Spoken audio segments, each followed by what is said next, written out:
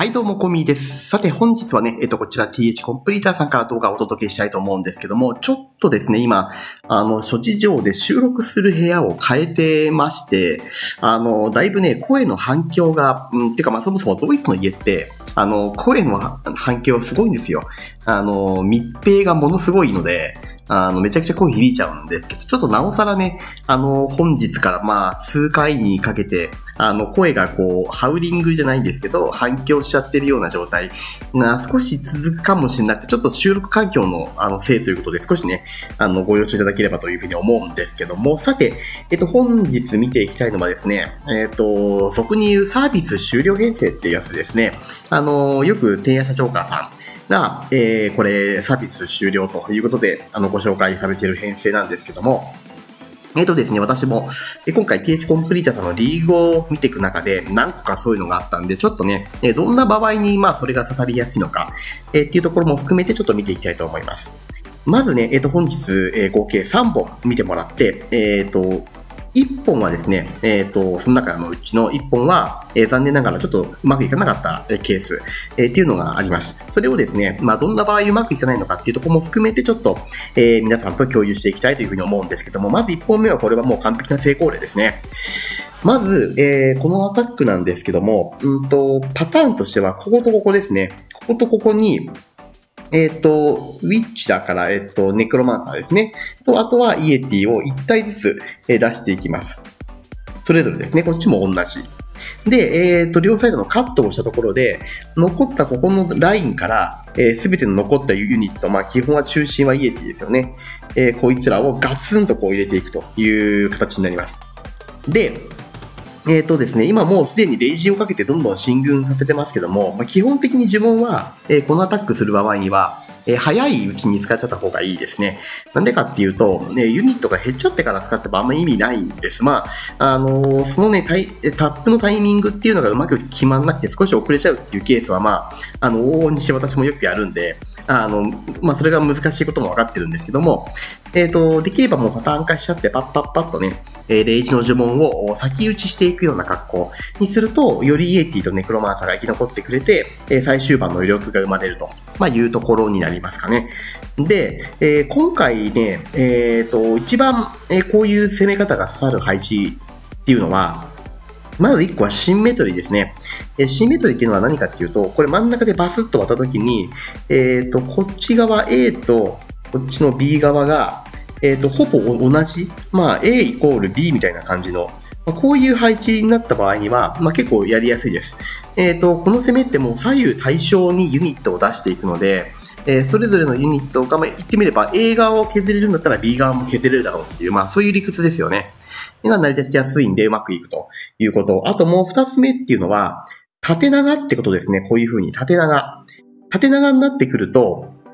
まあ、当然ながら奥の方っていうのは削りにくくなるんですが、そこにこうクエイクをこう2発打っていくときに、えっ、ー、と、それで大体ですね、壁がほぼほぼ穴開くよと。で、全部繋がるようなっていう場合は、まあ、めちゃくちゃこれ使いやすいような、え、村になってくると思ってもらっていいんじゃないかなと思います。まあ、今回のケース、ちょっとここが繋がらなかったんですよね。でそこに関しては、まあ、しっかりとこれロイヤルチャンピオンをえー、っと、当てていってるので、まあ、それによってここは、え、ケアできていますけども、まあ、実際ここ全部壁が開いちゃう方が、まあ、当然やりやすいっちゃやりやすいですね。はい。で、え、ー、と、最後3つ目、援軍、アイスゴーレム3体じゃないこと、これ結構重要です。あの、この後ちょっと見てもらうんですけども、アイスゴーレムがですね、3体になってきちゃうと、えー、どういうことが起こるかっていうとですね、まあ、こういうことが起こってくるんですね。えっ、ー、とですね、こちら、残念ながら、え、ー、と、前回までいかなかった理由っていうのは、えー、そこにあるということで、このアマシンさんのアタック、えー、ご覧いただきたいなというふうに思います。完全にシンメトリーですよね。で、入り口から見ていくと、ここですね。ここにまずは、えっ、ー、と、ウィッチエティ。えっ、と、ウィッチエティっていうのは、これウィッチだけかな。うん、確か。で、このバーバリアキンの処理でやっていくんですね。で、こっちにも、ウィッチイエティを出していきます。で、えー、この中央部のところから、まあ、イエティとネクロの大英軍ですね、を、えー、ガツンとこう出していくんですけども、主力をですね。えー、残念ながらここに入っているのが、これアイスゴーレムなんですね。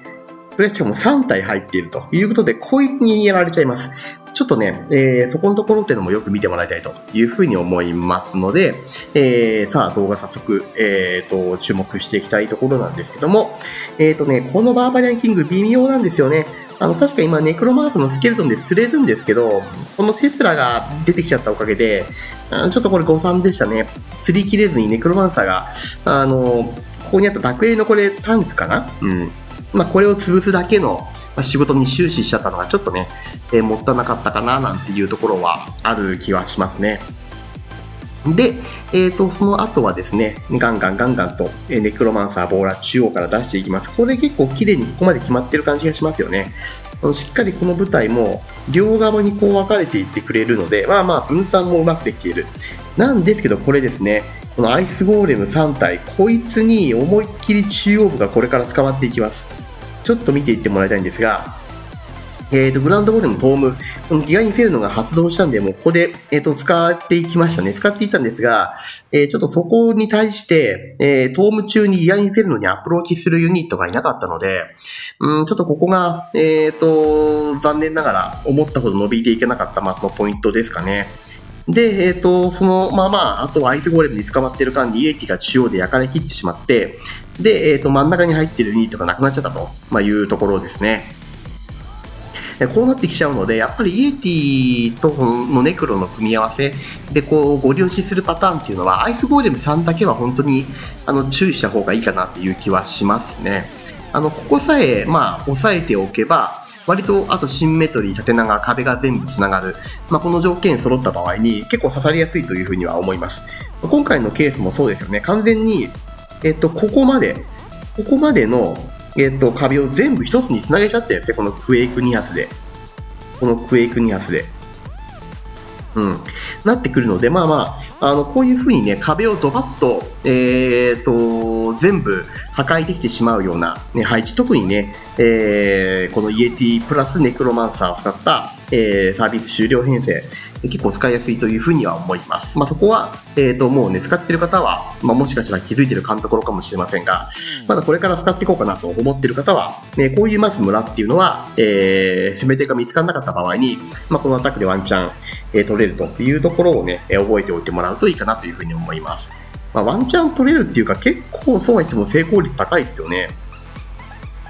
えっ、ー、と、このディディさんが取ってきてくれたアタック、ディディさんでいいのかな？私ちょっと名前いつもディディさんって勝手に思ってたんですけど、違ったらちょっと、あの、コメントなので修正もらいたいんですが、えっ、ー、と、もうですね、えっ、ー、と、これサービス終了ですね。で、えっ、と、これもクイック8です。えどんな風にするかっていうと、はい、もう言ってますね。完全に壁をこれ全部開けようということで、まずこことここ、えっ、と、イエティプラスのえっ、ー、と、ネクロマンサーですね。で、えー、壊していくという形。で、ネクロこれは3かな？を出していってますかね。うん。で、えー、中央部ここからイエティたちを一気に、えー、数でガツンと押し込んでいくという形ですね。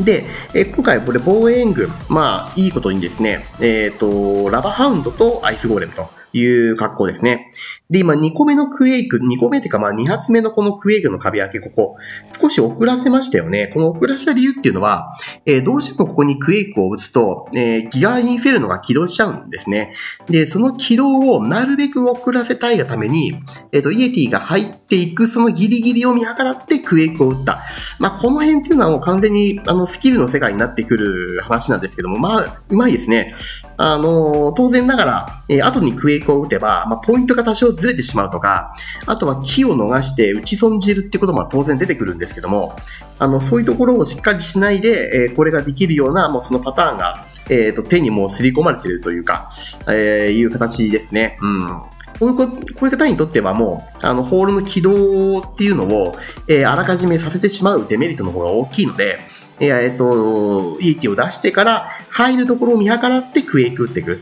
まあ、そういう順番っていうのが非常にあの効率いいかなというふうに思います。いやでも綺麗に決まってますよね。あのー、最終的には、えっ、と、こちらにいる上側から来た、このネクロマンサーたちが全部掃除を、えー、してきてくれているんですけども、ヒーローが4体とも全部こう生き残って、この最終盤まで、えっ、ー、と、いけているっていうのはすごいですね。ここでロイヤルチャンピオン、ホーミングシールド、もう使わなくてもよかったレベルですね。これは。はい。うん、素晴らしい。あのー、やっぱりですね、えっ、と、この攻めって私どうも、あの、自分自身まだ使い、使いこなせてない感じはするんですけども、まあ今言ったその、えっ、と、使える場面っていうのをよくちゃんと覚えておくと、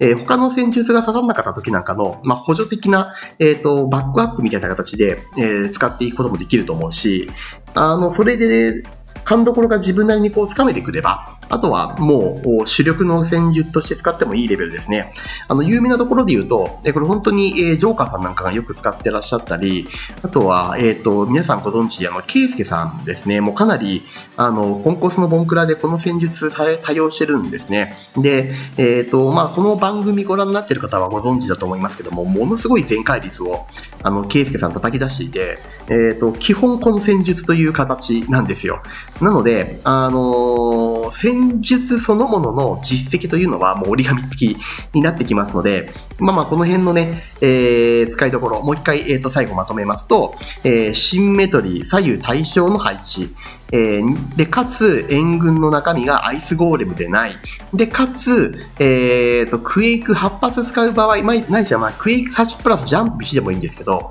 まあ、これらを使って、ほぼ全ての壁をこう一つながりにできる。まあ、要は壁の中を全部こう、えー、一つの区画にまとめきれるような、えー、絵が描ける配置に対しては、えー、この、えー、ネクロ